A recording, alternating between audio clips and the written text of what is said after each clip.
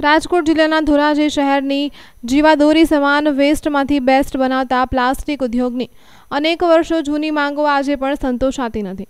ત્યારે વાત કરીએ ધોરાજી શહેરની, તો ધોરાજી શહેરમાં ભારતભરમાંથી આવતા પ્લાસ્ટિક વેસ્ટમાંથી રિસાયકલિંગ કરીને દોરી દોરડા પ્લાસ્ટિકની પાઇપ સહિતની અનેક વસ્તુઓ બનાવવાના ચારસો કરતાં વધારે કારખાનાઓ આવેલા છે. ત્યારે ધોરાજી પ્લાસ્ટિક ઉદ્યોગના ઉદ્યોગપતિઓ સ્થાનિક નગરપાલિકા પાસે રોડ, રસ્તા, પાણી, ગટર સહિતની અનેક પ્રાથમિક જરૂરિયાત મુજબની સુવિધાઓની માંગ કરી રહ્યા છે. પરંતુ પ્લાસ્ટિકના ઉદ્યોગપતિઓની માંગ પાલિકા સત્તાધીશોના બહેરાકાને અથડાઈ રહી છે. તો બીજી જીએસટી જેવા કરવેરાએ આ પ્લાસ્ટિક ઉદ્યોગની કેડ ભાંગી નાખી છે.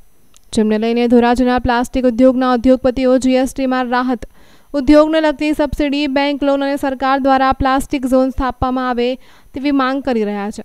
એક બાજુ આપણા પ્રધાનમંત્રી સ્વચ્છ ભારતની ચળવળ ચલાવી રહ્યા છે, ત્યારે ભારતમાંથી કચરો વીણીને પેટી રડતા લોકો દ્વારા એકઠો કરવામાં આવતા પ્લાસ્ટિક વેસ્ટનો હજારો ટન કચરો ધોરાજીના પ્લાસ્ટિકના કારખાનાઓમાં ઠલવાઈ રહ્યો છે. આ પ્લાસ્ટિક વેસ્ટને ઉદ્યોગપતિઓ પોતાના ઉદ્યોગમાં રિસાયકલિંગ કરીને પ્લાસ્ટિકની વસ્તુઓ બનાવે છે.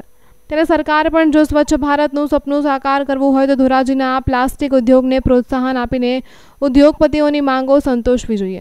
પરંતુ સરકાર ધોરાજીના પ્લાસ્ટિક ઉદ્યોગની માંગ ક્યારે સંતોષશે તે તો હવે જોવાનું જ રહ્યું. ધોરાજી પ્લાસ્ટિક એસોસિએશન પ્રમુખ દલસુભાઈ વાગડિયા ધોરાજીમાં ચારસોથી વધુ પ્લાસ્ટિક રિસાયકલિંગની ફેક્ટરી આવેલી છે. હજારો ટન ભારતમાંથી કચરો આવે છે. જેનું રિસાયકલિંગ કરી દોરી દોરડા સુતરી જેવી આઈટમ બનાવી ફરી ભારતમાં મોકલી છે. આ ઉદ્યોગ જીએસટી પહેલાં ખૂબ જ ધમધમતો હતો, પણ જીએસટી આવતા આ ઉદ્યોગને અત્યારે મરણ પથારીએ છે આ ઉદ્યોગને ફરી ધમધમતો કરવો હોય તો જીએસટીના દરમાં ઘટાડો કરો અને અમને નગરપાલિકા તરફથી પ્રાથમિક સુવિધા, રોડ, રસ્તા, ગટર જેવી સુવિધાઓ પણ મળતી નથી. અમે ઘણીવાર અવારનવાર રજૂઆત કરીએ છીએ, પણ ધોરાજી નગરપાલિકાના સત્તાધીશો પાસે અમારી રજૂઆતનો યોગ્ય જવાબ નથી મળતો.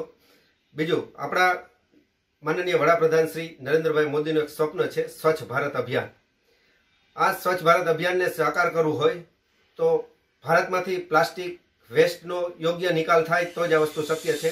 અને એના માટે ગુજરાતની અંદર ધોરાજી એક નાનું એવું ટાઉન છે, જે ચારસોથી વધુ ફેક્ટરીઓ રિસાયકલિંગ કરે છે. આ ઉદ્યોગમાં ભારતમાંથી પ્લાસ્ટિકનો કચરો આવે છે. એટલે અમારી એક સરકારશ્રીને એક નમ્ર અપીલ છે કે આ ધોરાજી સેન્ટરની અંદર એક પ્લાસ્ટિક સેજ બનાવો. તેમાં જીએસટીમાં રાહત આપો, સબસિડી આપો, સરળ બેંક ધિરાણ મળે, એ વ્યવસ્થા ગોઠવો. તો આ ઉદ્યોગ ફરીથી ધમધમતો થાય અને આપણા માનનીય વડાપ્રધાન શ્રીનું સ્વપ્ન, એ સ્વચ્છ ભારત છે, એ શક્ય બને. અમે સરકારશ્રીને એક નમ્ર અપીલ કરીએ છીએ. અને જે આ ધંધાઓ છે પાછા ફલે ફૂલે અને નવા નવા ઉદ્યોગ કરવામાં આવે, તો સરકારને પણ ટેક્સમાં ને બધામાં ફાયદાઓ મળે ને બધું રાખને? અલ્પેશ ત્રિવેદી સાથે અનેસ ગુજરાત ન્યૂઝ ધોરાજી.